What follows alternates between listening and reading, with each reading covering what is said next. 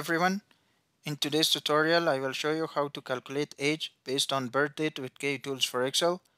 To calculate the age from birthday in Microsoft Excel, the Kutools for Excel's Date and Time Helper utility can do you a favor.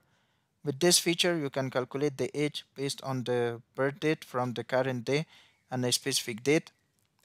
Click a cell where uh, you want to output the result. Then click the Kutools tab. Uh, in the editing group, click the formula drop-down list. Again, click the formula helper drop-down list and click on date and time helper. In the date and time helper dialog box, please uh, do the following operations. Uh, select age option from the type section.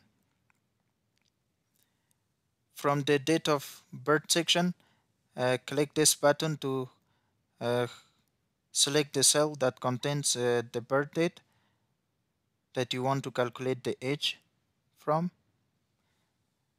Press enter.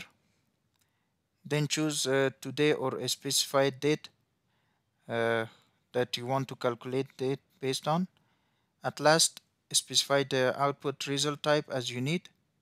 Click the drop down list and I want uh, the output uh, as year, months and days.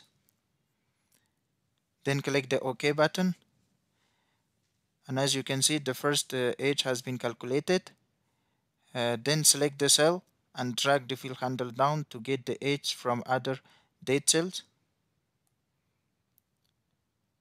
Thanks for watching and please subscribe for more videos.